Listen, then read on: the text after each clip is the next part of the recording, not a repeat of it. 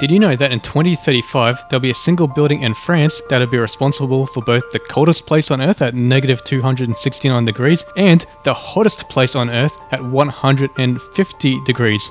Sorry, I forgot six zeros there. 150 million degrees. So why would a building be host to facilities that host these extreme temperatures? Well, they're hoping to create a nuclear fusion reactor, which is basically a mini sun. And if this project is to be successful, it'll be almost infinite, safe, and clean energy for humanity for all the years after it is constructed. Anyway, I just thought that was interesting. And if you like content like this, don't forget to click around here.